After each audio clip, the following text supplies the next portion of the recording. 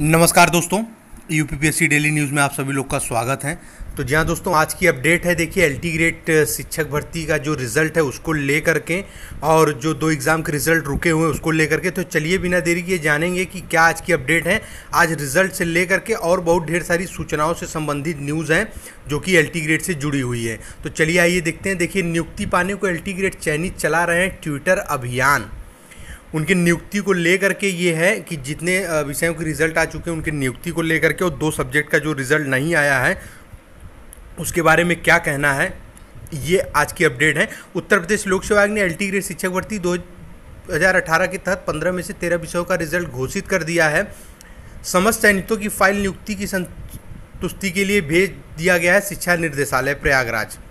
लेकिन निर्देशालय में नियुक्ति देने की दशा में कोई कदम नहीं उठाया जा रहा। इससे नियुक्ति की आस में बैठे चयनितों में निराश, निराशा आ रही है।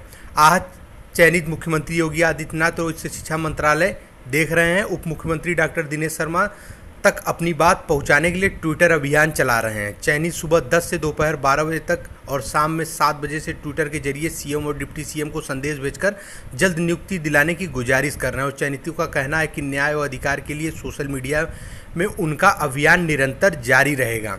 अब बात करते हैं कि दो विषयों को रिज़ल्ट का क्या होगा, उसके बारे में डिस्कस कर लेते हैं कि लोक सेवा आयोग ने एल ग्रेड शिक्षक भर्ती परीक्षा 2018 के तहत 15 विषयों में से दस पदों की सीधी भर्ती निकाली थी, लेकिन उसमें पंद्रह विषयों की लिखित परीक्षा कराई थी। परीक्षा के दिन वाराणसी में हिंदी और सामाजिक विज्ञान विषय का पेपर लीक हो गया था। इससे सामाजिक विज्ञान में अठारह व हिंदी में 1433 पदों का रिज़ल्ट अभी जारी नहीं हुआ है, जबकि संस्कृत, अंग्रेज़ी, जीव विज्ञान, गणित, कंप्यूटर, वाणिज्य, विज्ञान, संगीत, कृषि, कला, गृह विज्ञान, उर्दू, शारीरिक शिक्षा विषयों के सात हज़ार चार सौ इक्यासी पदों का रिज़ल्ट घोषित कर दिया गया, जिसमें बयालीस अभ्यर्थी सफल हुए हैं।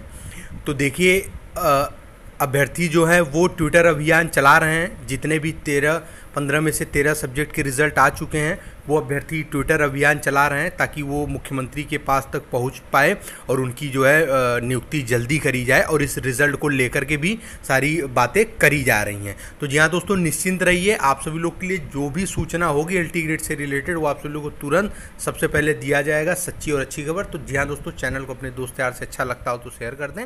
बाकी बहुत बहुत धन्यवाद।